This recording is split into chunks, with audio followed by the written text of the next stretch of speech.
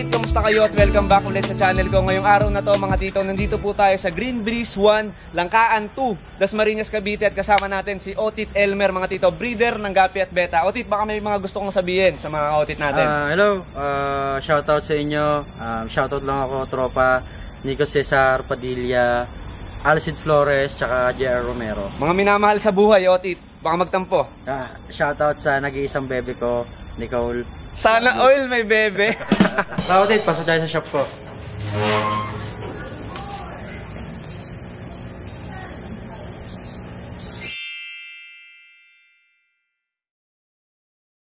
Otit, ano yun naman yun nandito sa susunod na rep tab, Otit? Ito, puro gapi na. Gapi, um, gapi, may kasama siyang ano eh, kumbaga para, para siyang commu- community. Mm So, nilagay ko siya dito. Gapi, Molly, Platin, kakasama. Then, ito, puro gapi. Mhm. BBM. Isang Tingnan nyo mga tito, ah, sobrang daming gapi. Anong gapi to, Otit? Ah, Dumbo Ear Mosaic, ang ano nila, ang strain. So yan mga otit, sobrang daming gapi. Ayan, no, tignan nyo mga tito, gumagalaw-galaw na lang sa tubig. Paano dito, otit, nagpapakain ka pa dito? Ilang beses ka nagpapakain dito? Ah, twice a day sila. Eh, morning tsaka evening. Gustong gusto nila yung tubig, no, otit, no? Oo.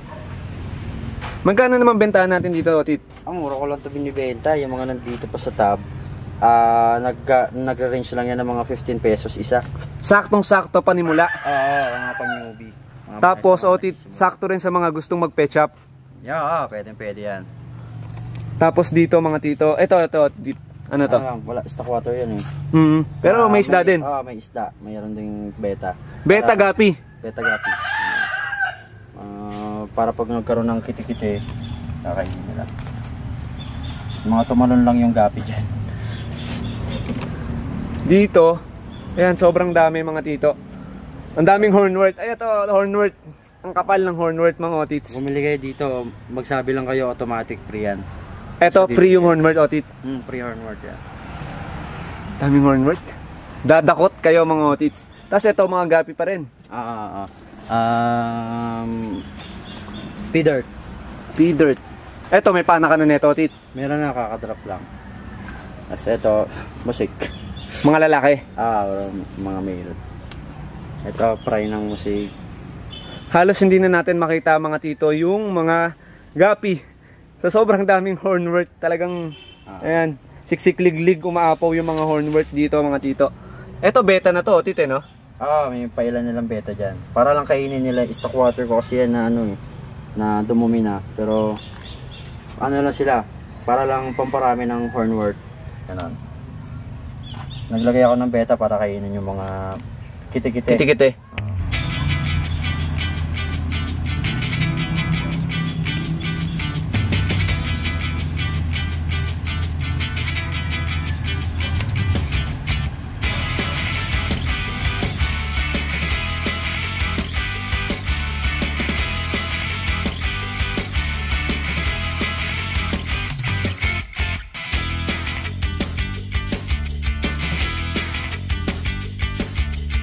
So mga tito, ayan. Hindi nyo natatanong, nagbe-breed din si Otit ng, ano yan Otit?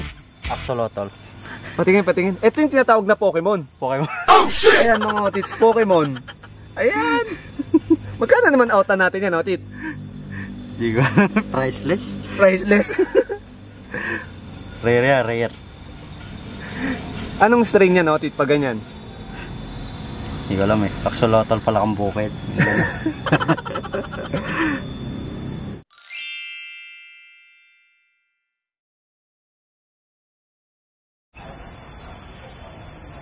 Maraming nagsasabi, Otit, kasi may mga tropa tayo gumamit ng test kit.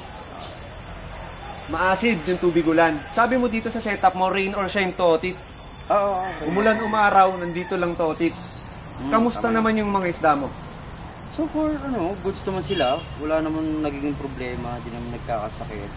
Ang technique lang kasi, pag naka-set up yung ah, lagayan mo ng mga isda sa outdoor, ah, kailangan lang ng regular water change para kung sakaling maulanan man sila, yung tubig nila marireplace agad ng fresh water ulit. Saka sa bagay, Otit, ah, tayo, di ba, ito langkaan.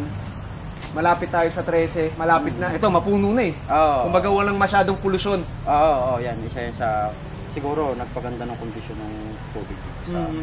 buwan yan bago ako magpalit dito sa mga tab dito napapalit ako to halos ah, weekly ito mga nandito pero ito nasa tab 1, 2 months nakupalit siya Ayun,